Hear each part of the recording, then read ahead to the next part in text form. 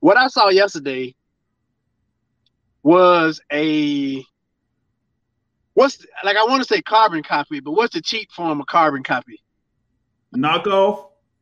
I, I was trying to be be slick with my words here, but uh, knockoff. I saw uh you know the the the generic version that that looks like it, but then when you like hold it up or you like touch it or something, it'll break apart.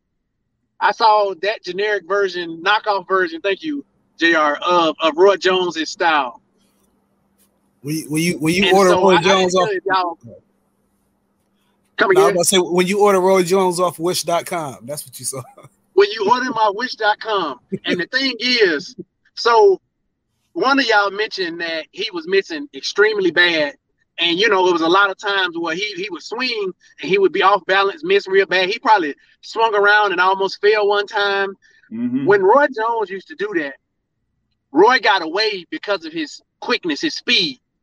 And everybody knows this. Once that speed went away, he like he looked like a totally different fighter.